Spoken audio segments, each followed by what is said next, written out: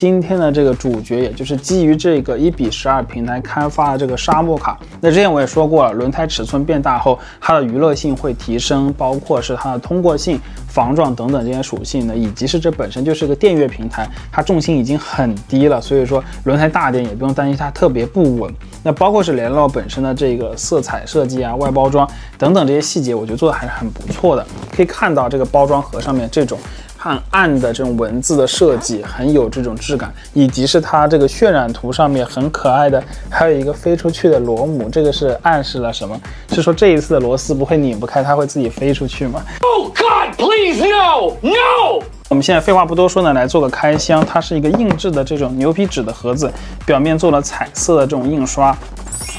然后一个天地盖打开之后呢，你会收到的是一本说明书，以及是一套这样子的高强度的扳手和螺丝的这个套筒，以及是附赠的这种小卡子阿扣，以及还有一个充电器 USB 的，还有呢就是调节这个摆臂行程的螺丝，那还有一个就是它给你附赠的这个备用的结合器和螺帽。大体上就是这么几个小东西，呃，这个版本的价格也会更低一点，大概是六百多块钱。所以说呢，配件就没有那么多了，但是我觉得也还可以了，基本上你需要的东西它都给。那包装也会更简单一点，呃，更加经济实惠一点。但是你可以看到的是，这个盒子里面，包括外面这种黑色的这个牛皮纸表面的这种印刷的质感，还是挺不错的。作为你个人自己去购买，或者说送人的话，我觉得都挺不错的，就是这种质感的感觉。那车子能看到是这样子一个红色搭配金色轮毂的一个搭配，然后里面还有两个这样子小人车，拿在手里还挺重的，感觉比之前的这个版本重还是蛮多的。然后我们再看一下它另外一个东西呢，就是它这个遥控器，这个应该和之前碳纤维版本提供的遥控器是一样的。那这次只有一个金属底盘的版本，所以说只提供了一款遥控器。接下来我们把包装放到一边，把车子放到一边，然后我们来看一下新的这款的设计。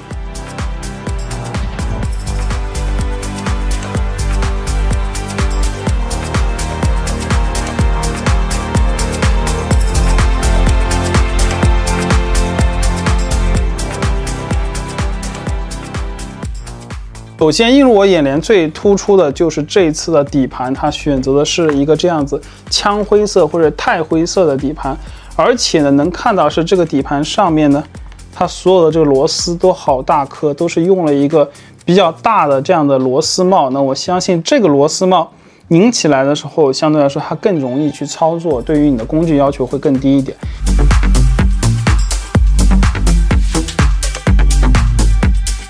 我们来感受一下这个车身的阻尼，那感觉起来。前后的阻尼是比较均衡的。转到侧面能看到，这个车子从前到后有头部的灯光，以及是这样小的反光镜造型。里面有两个小的人物的，以及它背后呢有一个全尺寸的备胎，一个小的瘦窄的车身和四个比较大的脚的一个比例。这种车子的越野性能和它的稳定性会比较不错，以及是它通过性呢，因为这次轮胎变大之后呢，也有一定的提升。我们把它压到底的话，大概可以看到里面下面还能有个大。一两公分的这个间隙，所以说你去跑一下越野完全没有问题。你给它当成大车来玩的话，其实也是 OK 的。只不过它轴距会比一般大车来长的那么一点点。那你这样子操控起来稳定性会比较不错。但是你比起空翻来说呢，它就没有那么强了。只能说这个尺寸轮胎加上这个车子的这个造型和轴距呢，空中姿态控制应该还是比较不错的。然后再来看一下车子的这个前面，正面能看到是它有一个非常小的防撞的结构。从侧面来看这个减震震机构呢，它是有上下两个零件组成的，包括中间有铰链的设计，所以说它受到冲击的时候呢，会有一个这样的折叠和弯曲的动作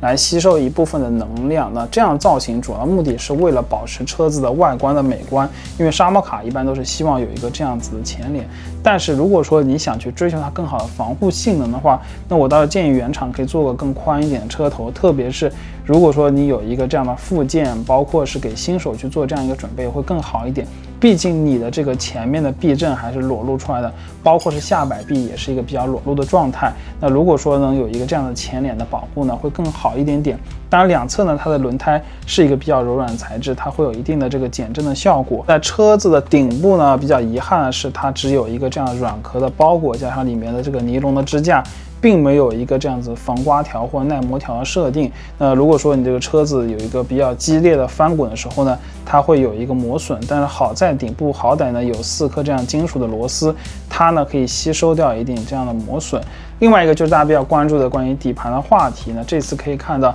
它这里都是统一采用了金属底盘的设计。而且能看到这个金属底盘上面有一个很大变化，针对大家之前吐槽问题呢，做了一个改进。那这也是我觉得说国产厂商对于国内市场的一个很好的反馈。接下来我们打开这个阿扣来看一下车子结构，它就只有这样两个阿扣，然后一个这样掀背式的设计，掀开之后能看到里面的这样一些内部的零件，搭配了雷拉洛定制的四十五 A 的无刷电条，以及是两千六百五十 kV 的二八五二电机，呢比之前的尺寸更。大扭力更强，搭配了四点六公斤金属齿轮舵机。在传动机构上采用了前 CVT 后狗骨的形式，碳钢的材质，三点五毫米的直径，可以达到一个比较好的硬度。性能上来说，我觉得它最大的特点就是一个是转速高，还有一个就是它的线性好。那我觉得这一套组合去玩一些这个越野的时候是还不错的，包括是你想拉极速呢，也是能拉得上去的。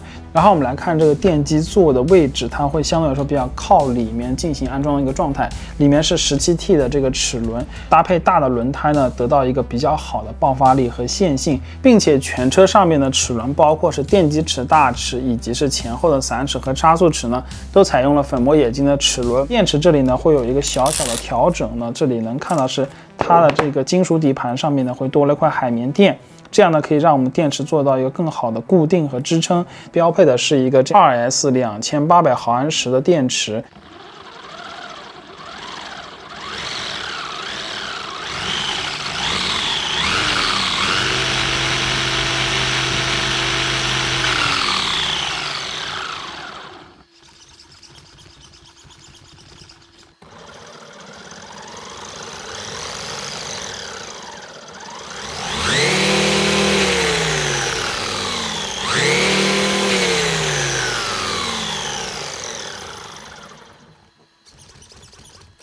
这里也能看到它的这一个尼龙件上面的螺丝打的都是比较好的，没有说打过把打爆掉的一个情况，捏起来都是一个很好的一个合紧的状态。这个车子的二楼板之前也分享过了，它是采用了一个这样尼龙的材质来制作的二楼板，更加有韧性一点，里面会有一个这样子像工字钢一样的结构，它是会有一个垂直方向延伸的设计，所以说它的硬度还是比较不错的。那整个车子往这个方向的这个刚性还是不错的，然后左。右扭转的刚性。我觉得也还是挺好的，整个感觉还是蛮结实的。但是很多小伙伴会比较纠结，说：“哎呀，这个金属底盘是不是一撞就弯掉了？”这里就是要看你具体玩的情况了。如果说你这个车子就撞墙或者撞一些树桩啊、电线杆啊这样子一个固定物体的时候，那这个动能是很高的。即便是你去选择一些啊什么一叉 B 啊、七零七五啊高配的车架，它难免也会有一定的损伤。并且呢，我觉得说这个底盘对于大家自己一场娱乐来说，应该是比较足够了。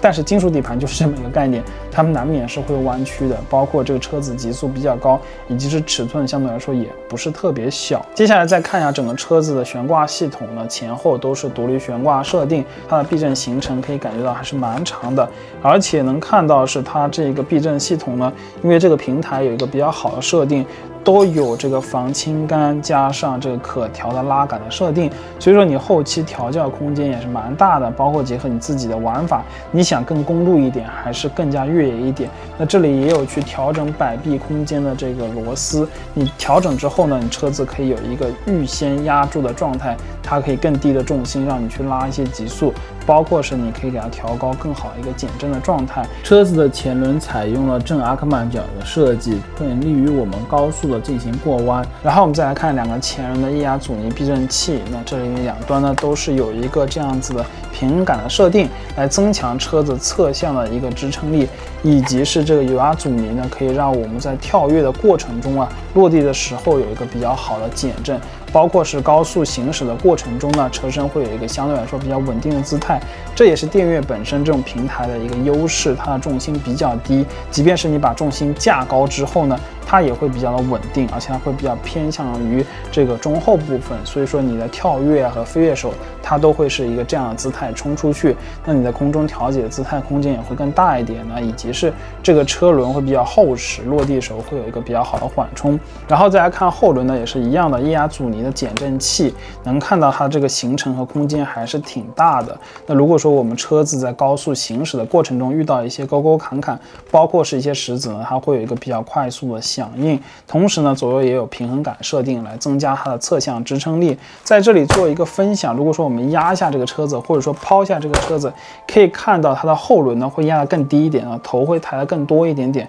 那原厂的后轮的预压会比较少。首先是整个车子重心呢都是比较靠后的一个设定，所以说呢，对它后面这个避震器的压力会大一点点。其次一点的这种姿态呢，我觉得说更利于它进行越野和高速的行驶，特别是在野地上面。如果说说你玩的偏公路一点呢，可以把后轮的预压去加一点，把车身前后调的平衡一点。如果说你玩的偏越野一点呢，反而这样的姿态我觉得是比较好看的，也是利于它来进行行驶的。视频最后再来做个简单总结呢，这款遥控器之前碳纤维版本就在搭配的，我觉得还是挺不错的。现在我原来之前雷拉洛 AMX 幺二的这个遥控器呢，已经拆下来到别的车上在用了。那包括是它的微调功能和手感，我觉得都挺不错，以及是外观呢也是蛮有这种未来感的。如果说你现在去购买呢，前一百名是会赠送这一套新合金的零件的，就是它前后的轮座，包括转向座这些东西。那你这个车子它会有一定强度提升，同时呢也是一个备用件的一个选择。反正你既然要买了，这个拿起来也是不拿白不拿，对吧？那这个车子我来总结一下呢，首先就是这个很经典的底盘来打造了这一款沙漠卡车型，轮胎的比例、尺寸，包括轴距各方面，我觉得做的都挺不错的。特别是外观的造型，还是设计的蛮有自己的感觉的，以及这个涂装的风格，红色搭配金。色的感觉还是蛮有质感的。那这个车子我觉得说比较大的一个亮点，就是在于说它前面这个防撞结构还有一个这样子机械结构的溃缩的能力。但是比较可惜的是，这样沙漠卡的造型呢，注定就是这里会有一点点的裸露。如果说你的高速行驶过程中遇到了一个这样子的冲击的话，对它来说会是一个比较大的伤害。所以说我们在玩的过程中呢，也是要去注意一下，这样子比较越野的车型，它会有比较多裸露的地方。那比起短卡来说呢，可能来说它的轮胎是更大了，但但是呢，就是保护起来会更少一点点，以及是这个车子它后面呢有一个这样的大备胎设定。它会有个更加抬头的姿态，跑起来我觉得也会比较好看，比较有趣的一个造型。这是一个很经典底盘，配件非常多，你有各种各样改装的方案，以及是你想去改的更加有这个美观，一些金属件啊也可以去做一个选择。那我觉得这个车架平台最大的一个优势就是零件通用性很强，并且我会在后面的视频里给大家做一个下地的测试，来看一下这个车子跑起来的姿态是什么样的一个表现，以及是它动态的响应是一个什么样的效果。那感兴趣的板可以关。关注一下，OK，本期视频到这里，在我主页还有更多 RC 和游玩资讯，我是你七叔，下期再见，拜拜。